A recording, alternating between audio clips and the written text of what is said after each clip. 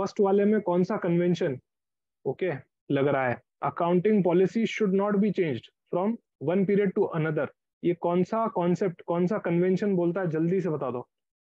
Consistency exactly consistency बिल्कुल सही है। क्या बोलता है कंसिस्टेंसी कि follow your accounting policies consistently okay don't change again and again but you can change if there is a provision in law अगर law की रिक्वायरमेंट है तो या फिर ए एस इंडेस की रिक्वायरमेंट है तो।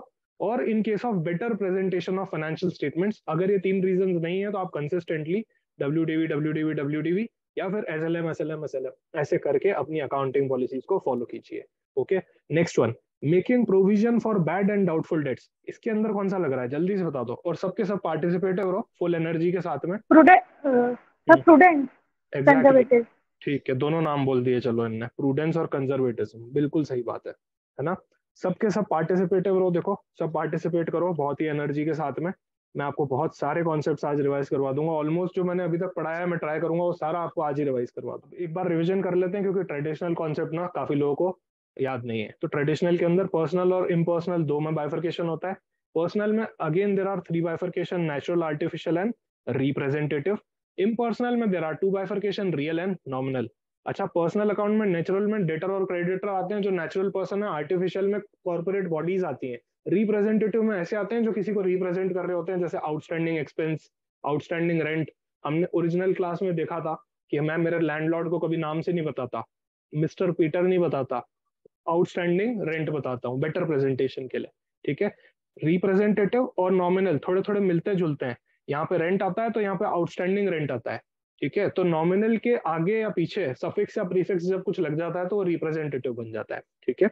नॉमिनल अकाउंट में सारे खर्चे आते हैं, सारे इनकम रिलेटेड चीज़ें आती है और रियल अकाउंट में all tangible and intangible assets are there and the golden rule are for personal account debit the receiver credit the giver real account debit what comes in credit what goes out nominal account debit all losses and expenses credit all gains and income तो आपको ये बिल्कुल याद रखना है। Subsection 40 very good of the Companies Act 2013 states that there are five types of financial statements, P&L account, balance sheet, notes to accounts, cash flow statement and statement of changes in equity. अच्छा ये बताओ balance sheet में इसका classification कहाँ होगा unpaid matured debentures unpaid matured debentures या deposit any opinion कहाँ पे क्लासिफाई करूँ इसको बैलेंस शीट में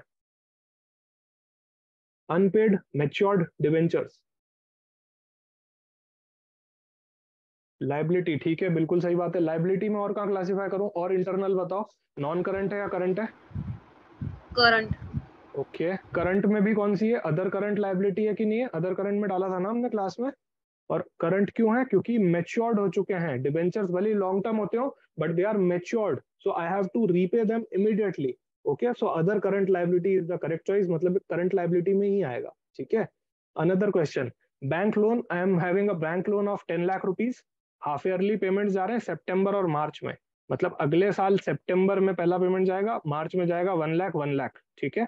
बैलेंस शीट डेट है मेरी thirty first March twenty twenty three तो ट्वेंटी ट्वेंटी थ्री वाली बैलेंस शीट बनाते टाइम कितना करंट में डालू, कितना नॉन करंट में डालू, या दोनों नॉन करंट में डालू? टेल मी गाइस फटाफट। ये सब कर चुके हैं हम रिविजन क्लास रिविजन राइट एकदम आंसर आना चाहिए अब तो। Any one non current liability कितना है? करंट लाइबिलिटी कितना है इसमें से? I am preparing balance sheet for thirty first March okay non current eight lakh very good and rest of the two lakh is current liability तो हम starting from the first slide ठीक है? मैं एक शॉर्ट में आपको 10-15 minute के अंदर वापस पूरा रिवाइज करवा देता हूँ, जो मैंने आपको एक घंटे में पढ़ाया आज, ठीक है? The purpose the sole purpose of doing this is आपका कॉन्फिडेंस इंक्रीज करना कि जो हमने पिछले दस से बारह क्लासों में पढ़ा, वो हमने एक घंटे में भी पढ़ लिया और उसको हम दस मिनट में भी पढ़ सकते हैं। कहने का मतलब एग्ज़ाम से पहले भी हम ऐसे ही पढ़ेंगे और आराम से एग्ज़ाम निकाल लेंगे। ठीक है? तो रिविजन का मतलब यही है, अगर जब भी आपको अकाउंट्स में कॉस्ट इसमें जीएसटी में ऑडिट में कॉन्फिडेंस नहीं आ रहा हो ना तो आप रिविजन लेक्चर देख सकते हो। एक घंटे में आपका काम हो जाएगा आराम से राइट वापस कॉन्फिडेंस बूस्ट हो जाएगा कि हमको काफ़ी चीज़ें पता है। क्योंकि यही चीज़ें हमने बहुत लंबे टाइम में पढ़ी थी राइट जो आज हम एक दिन में पढ़ रहे हैं। तो